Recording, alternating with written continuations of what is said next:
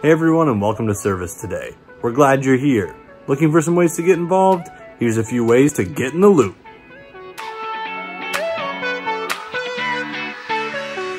The Coconut Hut Youth Center is open tonight from 5 to 7 o'clock. There is no staff parish meeting this Monday. Instead, it has been rescheduled for October 4th at 7 p.m. Keep bringing in candy for this year's annual Halloween Carnival. You can place it in the buckets in the entryway.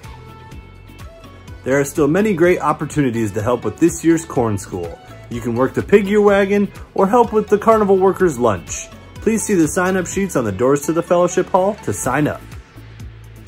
And those are just some of the ways that you can be involved. Now that you're in the loop, have a blessed week and stay safe.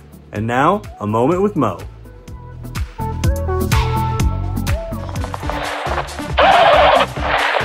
There, it's me, Mo. Are you ready for today's message?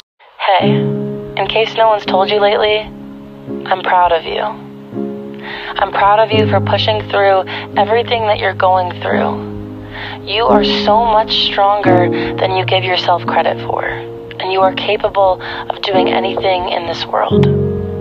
I believe in you. Hey there. I just want you to know I'm proud of you too. I'm proud of the obstacles that you've taken and that you've owned them and that you've gotten through them. And I'm proud of you for choosing God.